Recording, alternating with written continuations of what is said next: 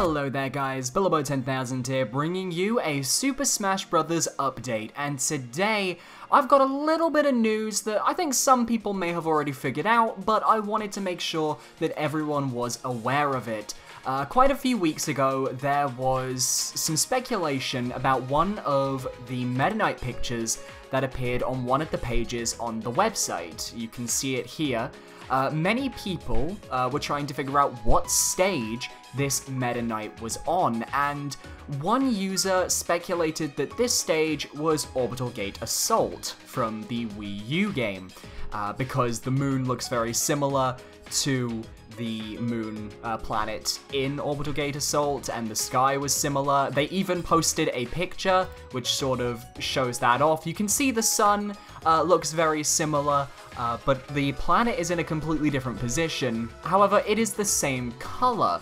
So people kind of took this for gospel as a very soft recognition that Orbital Gate Assault is back. However, sadly, this is not the case. Because yesterday, during the EVO exhibition matches for Smash Bros. Ultimate, we happened to get a glimpse of where the planet from Picture 1 was, and I've got a quick screenshot that I took. It's not a good screenshot, but it is a screenshot.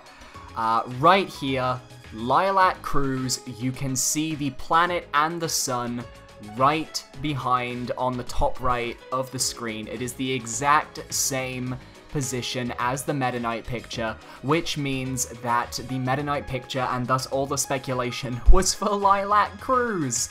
So Orbital Gate Assault is still completely disconfirmed.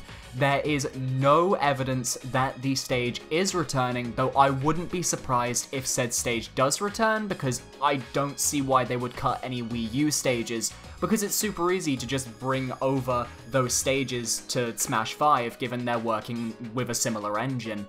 So, do you guys want to see Orbital Gate Assault back? What other missing stages do you guys want to see? And I will see you guys in the next video. Uh, so, thank you so much for watching, and goodbye!